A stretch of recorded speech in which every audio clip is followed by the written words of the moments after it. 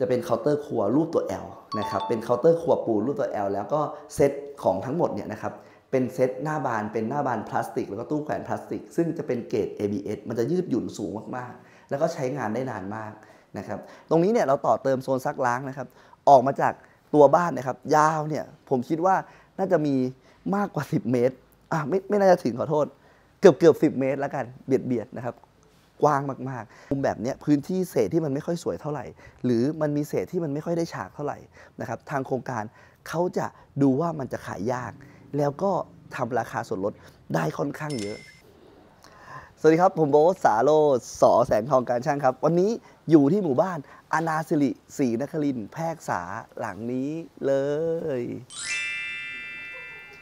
สำหรับคุณลูกค้าที่ใช้บริการกับบริษัทสอแสงทองการช่าง เรามีรับประกันหลังการขายให้ 1 ปีเต็ม ท่านสามารถแอดไลน์ติดต่อเข้ามา เราจะมีแอดมินคอยดูแลให้ครับ และสำหรับลูกค้าท่านใดอยากแนะนำติชม สามารถติดต่อโดยตรงถึงผู้บริหาร โดยการกดปุ่มด้านล่างตรงนี้ได้เลยครับ เรามีพนักงานมากกว่า 100 คน ที่คอยดูแลลูกค้าทุกท่านครับ และตรงนี้คือศูนย์อบรมพนักงาน เราจะมีวิทยากรมาคอยให้การอบรมอย่างสม่ำเสมอ เพื่อให้บริการของเราออกมาดีที่สุดครับ เรามีตัวอย่างการต่อเติมบ้าน เป็นวิดีโอมากกว่า 1,000 วิดีโอ คุณลูกค้าสามารถเข้าไปดูตัวอย่างในการต่อเติมบ้าน แบบที่ท่านสนใจ ได้เลยตอนนี้ครับตัวบ้านอนาสิรินะครับต้องบอกว่าเป็นโครงการของ แสนสิรินะเราต้องบอกว่าแถวๆนี้ก็จะมีอนาสิริมีสลานสิริเท่าที่ผมเห็นนะครับบ้านหลังนี้นะครับเราทำการต่อเติมเป็นบ้านคู่นะจะมีหลังคาหน้าบ้านหลังนี้แล้วก็หลังนี้นะครับแล้วก็จะมีงานต่อเติมหลังบ้านด้วยนะงานต่อเติมหลังบ้าน เราใช้เสาเข็มขนาด 6 เมตรคุณผู้ชม ซึ่งจะเป็นเสาเข็มหกเหลี่ยม เป็นยังไงกันบ้างไปดูครับ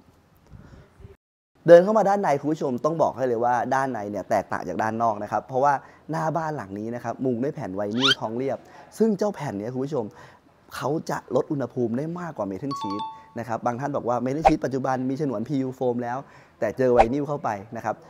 กันความร้อนได้มากกว่านิดหน่อย แต่ว่าราคาสูงกันเยอะเลย ใครที่ชอบงานพรีเมียม ใครที่ชอบงานโชว์นะครับแล้วไม่ชอบใส่ฝ้า ผมแนะนำอีกหนึ่งทางเลือกคือไวนิลแบบนี้นะครับจะกันความร้อนได้ค่อนข้างดีเลย เราทำการต่อเติมทั้งหมด 2 หลังคุณผู้ชม หลังนี้เป็นหลังมุม สังเกตหลังคานะ จะเฉียงนะครับจะเฉียงไปทางเขาเรียกว่าไปตามรั้วนะครับของหน้าบ้าน แล้วก็อีกหลังหนึ่งจะเป็นแบบตรงๆคุณผู้ชม ซึ่งต้องบอกว่า ทางโครงการเนี่ยเขาทำการแบ่งที่ดินหรือทำฟีดออกมาแล้วนะครับแบบนี้เขาน่าจะได้ประโยชน์สูงสุด แล้วก็เศษที่ดินเนี่ยก็จะมาตกกับลูกบ้านหลังหัวมุมแบบนี้นะครับรั้วอาจจะไม่เหมือนคนอื่น อาจจะเฉียงนะครับซึ่งหลังนี้เนี่ยเราทำการต่อเติมเป็นหลังคู่กันนะครับแต่ว่าตัวโครงสร้างของหลังคาเราแยกออกจากกันหมดเลยนะก็คืออย่างตรงนี้ตั้งเสา4คูณ4 1 ต้น แล้วตรงนี้อีก 1 ต้นนะครับจะแยกกันทั้ง 2 หลังเลย โดยด้านบนเนี่ยเราจะเอาแพทชิ่งพับแล้วก็ครอบเพื่อที่จะไม่ให้น้ำรั่วระหว่างตรงกลาง นะครับตรงนี้ก็เหมือนกันคุณผู้ชม ยาวไปถึงตรงนู้นทำเป็นระแนงโป่งนะครับเพื่อที่จะเพิ่มความเป็นส่วนตัว แล้วก็ตรงกลางตรงนี้เพื่อที่จะให้ส่วนตัวแล้วก็สัมพันธ์กันแนบแน่นนะครับเราจึงเอารั้วตรงกลางออกนะครับที่จริงเป็นรั้วปูนนะครับเราเอาออกเลยนะแล้วส่วนหนึ่งก็คือตรงนี้จะเดินเข้าหากันได้นะครับแล้วก็ต้องบอกว่าอย่างที่ผมบอก เศษที่ดินจะไปอยู่บ้านหลังหัวมุมก็คือบ้านหลังนี้ ตรงนี้จะเป็นพื้นที่คล้ายชายธงตรงนี้จะแหลมนะครับตรงนี้จะแหลมเลยแล้วก็ ป้านออกไปด้านหลังนะครับ ตรงนี้ก็ขึ้นอยู่กับความเชื่อแล้วกัน บางท่านก็ถือบางท่านก็ไม่ถือ อันนี้ก็แล้วแต่นะครับ แต่ส่วนหนึ่งก็คือเศษที่ดินเนี่ยโดยส่วนมากแล้วนะครับ ทางโครงการจะขายเป็นต่อตารางวา อย่างตรงนี้เนี่ยคุณผู้ชมพื้นที่ด้านหลังออกออกไปเนี่ยเยอะมาก ดังนั้นเนี่ยพื้นที่หลังหัวมุมตรงนี้จะค่อนข้างเยอะนะครับ ซึ่งต่างจากหน้าบ้าน อย่างตรงนี้ถ้าถ้าโครงการแบ่งขายอะถ้าเป็นสามเหลี่ยมแบบเนี้ย ช่องเนี้ยโครงการแบ่งขายใครก็คงไม่ได้นะครับ แต่พอเป็นเศษเมื่อไหร่เนี่ยนะทางโครงการสามารถแบ่งเป็นตารางวาได้ เล็กๆน้อยๆก็รวมเป็นตารางวาทั้งหมดนะครับแต่คุณอย่าลืมนะด้วยเศษมันเป็นอย่างนี้แล้วนะครับเวลาคุณซื้อบ้านเนี่ยหลาย ๆ โครงการแล้วกันหลาย ๆ โครงการหลังหัวมุมแบบนี้พื้นที่เศษที่มันไม่ค่อยสวยเท่าไหร่ หรือมันมีเศษที่มันไม่ค่อยได้ฉากเท่าไหร่นะครับทางโครงการเขาจะดูว่ามันจะขายยาก แล้วก็ทำราคาส่วนลด ได้ค่อนข้างเยอะ ดังนั้นเนี่ยผมบอกไกด์ไลน์ไว้เลยว่าใครที่ซื้อบ้านหลังหัวมุมแล้วมีเศษแบบนี้นะครับราคาส่วนลดเนี่ยบางทีเนี่ยเราสามารถต่อออกเป็นตารางวาก็ได้ หรือเป็นพื้นที่ยังไงก็ได้คือส่วนลดเนี่ยคุณได้เยอะอยู่แล้ว อันนี้ก็แล้วแต่เทคนิคในการที่คุณไปต่อแล้วกันหาเหตุผลไปคุยแล้วกันอะไรประมาณนี้ แต่สุดท้ายแล้วผมว่าทุกหลังขายออกหมดนะครับเช่นเดียวกับหลังนี้ อย่างตรงนี้คุณผู้ชม แดดไม่ลงเลยเอาตากล้องไปยืนอยู่ข้างนอกแดดได้ไหม เออเอาไปไปอาบแดดหน่อยหน้าร้อนนะครับอขอขออนุญาตแซวเล่นถอยวิ่งครับถอยวิ่งสังเกตนะว่าตรงนี้แดดไม่ลงแล้วตรงนี้ไม่มีหลังคาด้วย เพราะว่าหน้าบ้านเนี่ยหันทางทิศตะวันอขอโทษหันทางทิศน่าจะเป็นทิศเหนือนะครับแล้วขวามือตรงเนี้ยเป็นทิศตะวันออก เมื่อแดดขึ้นมาแล้วเนี่ยนะครับผ่านไปข้ามตัวบ้านตอนนี้อยู่เวลาประมาณบ่ายสอง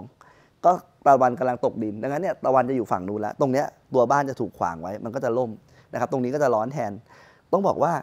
เรื่องของทิศเรื่องของแดดก็มีส่วนสำคัญในการเลือกซื้อบ้านนะครับ ตอนนี้เดินเข้ามาด้านในคุณผู้ชมตากล้องถอยไปกว้างๆหน่อยได้ไหมจะได้เห็นว่าตรงนี้เนี่ยนะครับมีพื้นที่ขนาดค่อนข้างกว้างนะครับเห็นสุดนู่นเลยไหมอ่าสุดนู่นเลยเนาะตรงวางถังเลยเนาะแล้วก็ถึงสุดประตูนี้เลยนะนะครับต้องบอกว่าค่อนข้างกว้าง และพื้นที่ตรงนี้เนี่ยมันก็คล้ายๆกับเป็นเศษอยู่เหมือนกัน ดังนั้นเนี่ยผมไกด์ไลน์ให้คุณเลยว่าถ้าคุณจะทำการซื้อบ้านตรงนี้คุณสามารถต่อรองได้ค่อนข้างเยอะ แล้วก็ที่สำคัญคือ คุณสามารถต่อเติมได้ค่อนข้างเยอะเช่นเดียวกัน พื้นที่ใช้สอยของคุณเนี่ยจะเพิ่มขึ้นนะครับแล้วก็ต้องบอกว่ายิ่งเป็นบ้านหลังหัวมุมที่เป็นทาวน์โฮมคุณผู้ชมมันจะคล้ายๆกับบ้านเดี่ยวหรือเป็นบ้านแฝดไปเลยก็ได้นะครับ ทั้งนี้ทั้งนั้นเนี่ยใครที่ชอบอารมณ์แบบเอ่อมีพื้นที่มีพื้นที่มีสเปซนะครับแล้วก็อยากจะใช้ประโยชน์ได้เยอะ ก็แนะนำเป็นบ้านหลังหัวมุมอย่างตรงนี้ ตรงนี้เนี่ยเราต่อเติมโซนซักล้างนะครับ ออกมาจากตัวบ้านนะครับ ยาวเนี่ยผมคิดว่าน่าจะมีมากกว่า 10 เมตร อะไม่ไม่น่าจะถึงขอโทษ เกือบเกือบสิบเมตรแล้วกันเบียดเบียดนะครับ กว้างมากๆ สุดนู่นวางแทงน้ำปั๊มน้ำตรงนี้ทำระแนงโป่ง ยาวไปถึงห้องครัวเลย ด้านบนมุมด้วยแผ่นไวนิลทองเรียบนะแล้วก็ทำการใส่ไฟกล่องเรียบร้อย หน้างานนี้ยังไม่เสร็จดีนะครับเราเหลือขั้นตอนการเก็บรายละเอียดแล้วก็ส่งมอบงานนะครับพอเดินเข้ามาด้านในคุณผู้ชม ก่อนจะเข้าไปตรงนี้จะเป็นประตูกระจกสไลด์ แล้วก็ต้องบอกว่า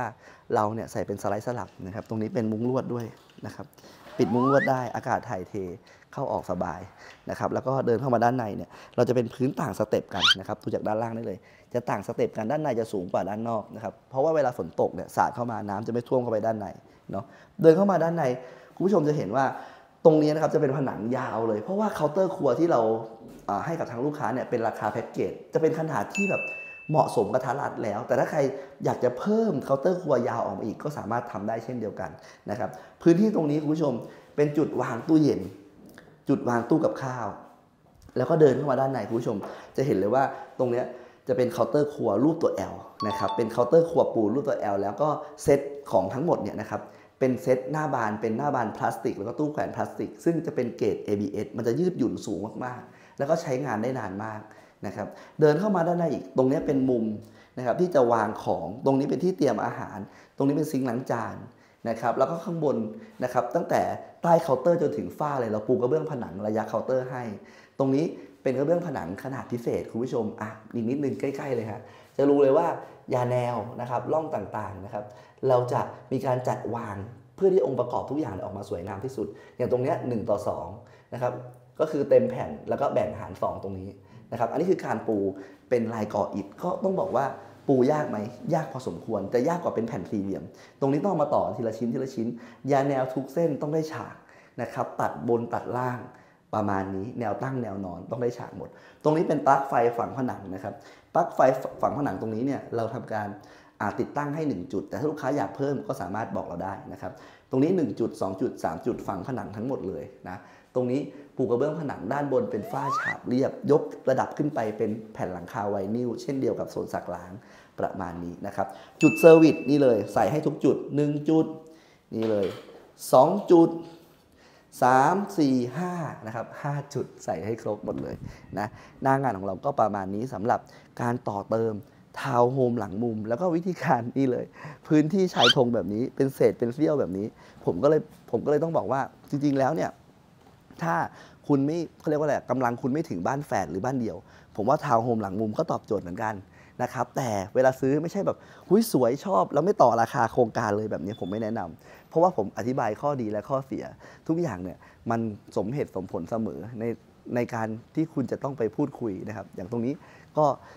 สามารถต่อเติมได้อีกนะครับอย่างตรงนี้เนี่ยถ้ามันเป็นพื้นที่กว้างๆคุณจะปลูกต้นไม้หรือทำเป็นสนามหญ้าก็ได้ แล้วแต่คุณ แต่ทั้งนี้ทั้งนั้นเนี่ยทาวน์โฮมไม่ว่าจะหลังมุมหลังกลางนะครับไซซิ่งด้านในขนาดตัวบ้านเท่ากันหมดนะครับไม่ว่าจะหลังมุมหลังกลางเท่ากันหมดเลยนะดังนั้นก็เปรียบเทียบพิจารณาเอา ถ้าพื้นที่น้อยคุณก็ต่อเติมออกมา ต้องบอกว่าบางหลังคุณผู้ชมตรงเนี้ยนะครับเขากั้นเป็นห้องนอนอเนกประสงค์เลยนะนะครับก็คือต่อเติมออกไปอีกนิดนึงนะครับให้มันได้สัก 4 เมตร หรือสัก3เมตร50นะครับพอวางฟูกที่นอน พอวางตู้เสื้อผ้าได้ เป็นห้องนอนชั้นล่างได้เลยเหมือนกันนะครับแล้วตรงนี้ก็เป็น space ทางเดินระหว่างห้องครัวอะไรประมาณนี้นะครับก็ขึ้นอยู่กับคุณออกแบบเนาะอะตรงนี้ก็ฝากเอาไว้แล้วกันใครอยากต่อเติมบ้านแอดไลน์ด้านล่างตรงนี้ได้เลยหรือโทรมาที่เบอร์ 0881044888สำหรับวันนี้ สวัสดีครับ